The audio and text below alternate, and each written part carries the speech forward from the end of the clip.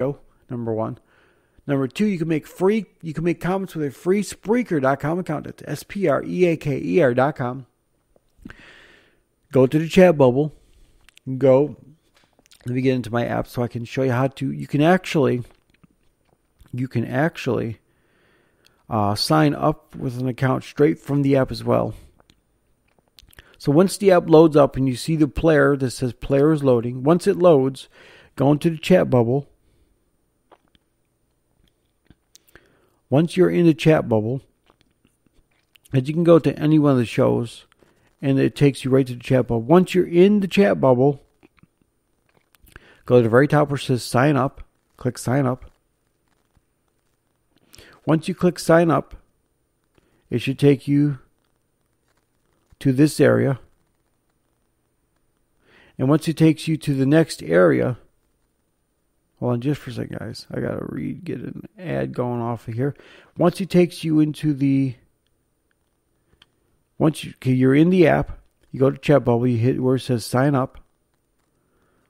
Once you hit where it says sign up, it's got all these different places you can sign up with. You can sign up with a free speech, uh, on air talent, broadcaster, anchorman, Yes, I'm Anchorman right now. But when you just go to where it says free speech, and then hit free free sign up, then once you go to hit to hit free sign up, then you just click on a Google account.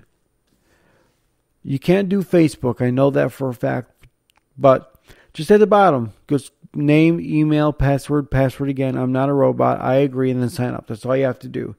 Don't worry about the top two options because you don't have to actually do those top two because the Facebook I know does not work just yet.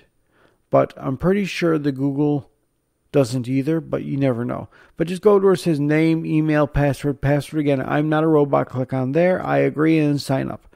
Once you do that, then you're good to go. You got a free account. Get out of the app, go back into the app, and you can make all the comments that you want to through the app while the show's going on. And you can also chat with us for nothing. You don't even have to have a free Spreaker account, but you can leave comments on the show with the chat bubbles, or you can leave comments with the the uh, portal chat feature, which you do not have to actually sign up for that at all.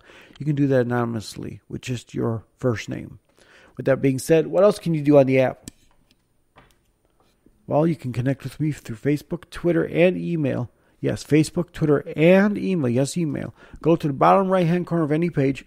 Click on your email client. Click on the email button, bottom right hand corner. Looks like an envelope. Click on your email client. Click always on Android at the bottom. Type in your email. And then hit send. Now that seems like a lot. But the next time you go back to the email, it's click the email button. It instantly takes you to the email that quick. That quick. Type in your message, hit send. So email button, message, send. It's that quick.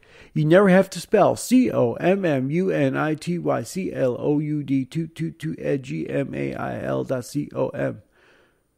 Never again will you have to do all that just to get the message out.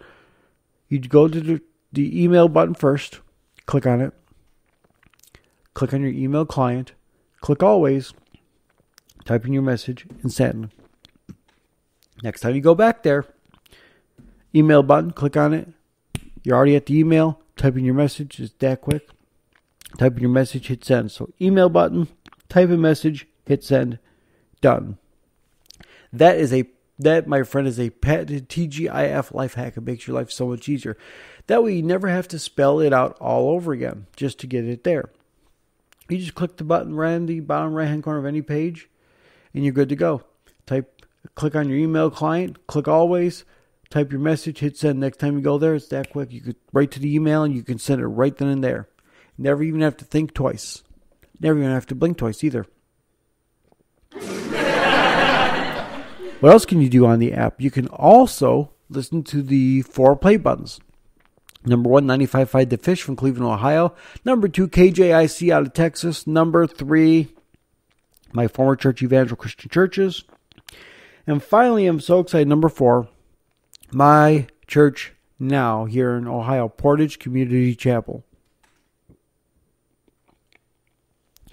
When you click on their button, it takes you straight to the Vimeo page. In app, it never ever does anything outside of app. It always loads up all results in app when you click on anything. So click on their page, click on their Vimeo button, and it takes you right to their Vimeo page in app. Now, their button is a rectangle shape, just like the rest of them, but it's got the colors blue, brown, I think orange or something, yellow. There's some green in there. So check that out. Click on that button right there. It takes you to the Vimeo page in app, and then the first thing it does is it takes you to their about page, who they are, what they're about, how many videos they got going on, things like that. And then when you click on the word video, so click on videos, it takes you straight to their video page. And all the videos that say, uh, that say, um, pending on it means that they haven't, it hasn't aired yet, but it will soon. So it will say coming soon or something. So click on one of their videos. You can listen to their every Sunday morning services on the app as well. And what else can you do with the app? You can at the bottom of the play buttons do a Google search result. If you got questions that you need answered and we're not available at that moment to answer you for whatever reason, go to the bottom of the play buttons page, type in your search result, and hit the enter button on your on screen keyboard or your virtual keyboard no, on your on screen virtual keyboard or on your physical keyboard if you're using Chrome. Because the email button blocks the little search button on the actual screen. So you can't move your mouse over to the search button. Click on it because that does not work at this moment, which is fine. But just on your virtual on screen keyboard, hit the enter button. Or on your physical keyboard if you're using Chrome, hit your enter button as well and it'll take you straight to your search results in app. Everything loads in app. And yes, I did turn Safe Search on. I did test it and looked up stuff that I don't need to look up, but I wanted to make sure that it was functioning properly because I don't want somebody out there going, yeah, my wife will never know. It's a Christian app. It's a godly looking app. It is godly. And I can do this, this, and this, and she'll never know because it never saves results. And no, I didn't invent it for you to, to do that stuff. I invented that as a feature for you to be able to look up things to find more results on something you need or a question you have, or if you just want to randomly look up, you know, scriptures on faith and whatnots. That's a great place to do it at because then there's nothing in there that is of inappropriateness at all. I mean, there there still is. I mean, if I look up a certain word, which I'm not going to say on the air, but look up certain words that do bring up results for things of that nature but it's not inappropriate as in there's no sexual pornography there's no anything like that you can't look up a naked woman or a naked man or whatnots but doesn't mean it's perfect. There are still some things that you can get around. I'm not going to say how.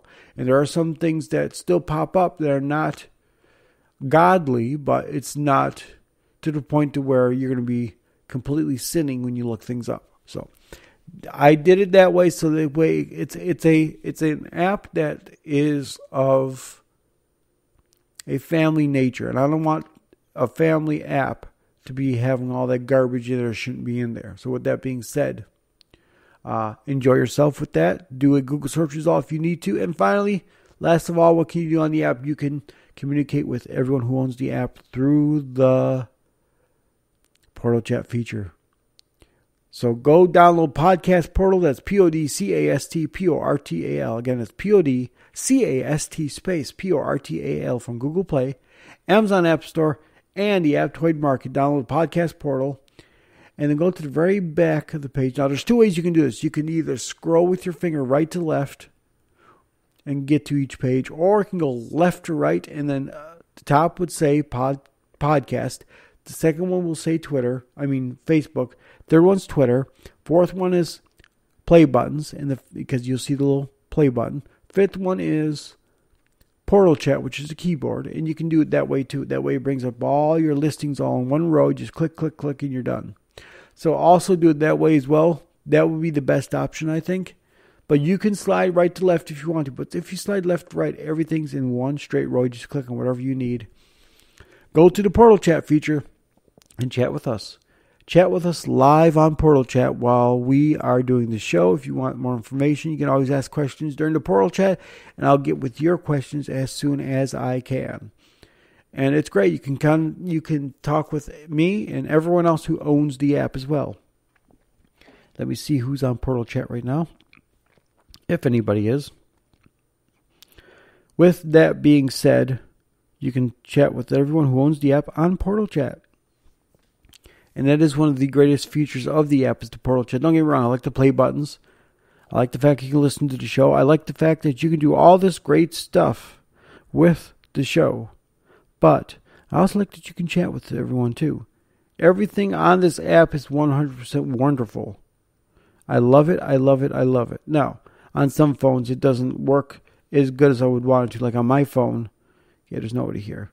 On my phone, when I do it on the main page, I brought the picture up, but then the bottom of the but then the bottom of the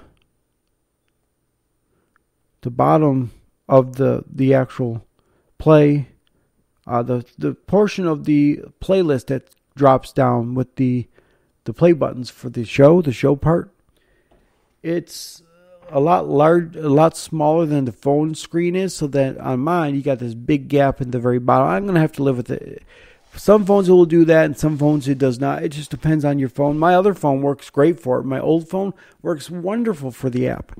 It fits in that screen absolute perfect, but doesn't fit in this screen absolute perfect. So I gotta have to figure out what's going on and see what the deal is, and maybe I can fix that myself. But it's a great app. Download it. It's called Podcast Portal. P O D C A S T space P O R T A L. Available on Google Play the Amazon App Store and the Aptoide Market. And one more thing to mention is the podcast portal now is on the Alexa players. You can take your Alexa devices and you can say, you could say, and excuse me for turning on your devices if you have them. You can say, Alexa, open up podcast portal. And it'll say either welcome to podcast portal or welcome back to podcast portal. You'll open it up and you can listen straight to the show straight from there. You can also listen to us on the uh, Amazon Music as well. But just say Alexa open podcast portal. That way you don't have to say open TGIF uh, podcast or this or that. Just say open podcast portal. It's so much easier and it's a new skill that you can have on there. And we also can have that now. We also got that app or skill for Alexa on the uh, video devices as well. You'll see our logo and everything while you're listening to it. So enjoy yourself with the app. Enjoy yourself with the new Alexa skill, and let's hear from you on the app. You can also on the app take a picture with your camera. Say a monument of your area. Say you're in France and you want to take a picture of the Eiffel Tower and send it to me. You snap a picture of the camera app. You go back into the podcast portal. You click on the camera at the bottom. You hit where it says upload picture. You click there you put that picture into it by clicking on it, hit send, and you're good to go. And it sends a picture straight through the app. It's no longer an inline picture, it is a physical picture that you can do from your phone straight to the app. And you can actually send me pictures of your day, what you're doing, what you're reading, and all that fun little stuff. Now, I don't want to go into specifics about who you are, I just want to know a little bit more about you and what you enjoy and things like that because you're my listener. That's the way it's supposed to be. I'm supposed to get involved in your life a little bit. That's if if a pastor or a minister does not get involved in either their listener or their church attendees' life, how in the world are they going to know what to do, uh, what to pray for, and what how to you know, you know. It's great when someone comes up to you say, "Hey, brother Andrew, how are you doing today?" So I heard you're going through such and such. How's that going? Do you need prayers for that? That's perfect. That's why I want to do these things so I can get into your lives a little bit and pray for you, each and every one of you, and get to know who you are in a small aspect, not a huge aspect. So, with that being said, guys, let's get into the worship Saturdays. I've talked almost two hours, not quite hour and a half. So, let's get into worshiping God, shall we? Let's get into first our first artist of the worship Saturdays of November 6th is none other than Dudley Smith with his song Jehovah Reigns. Enjoy Jehovah Reigns. We have heard many times in our Christian life that God has everything under control. The best part about it is that you can trust that statement.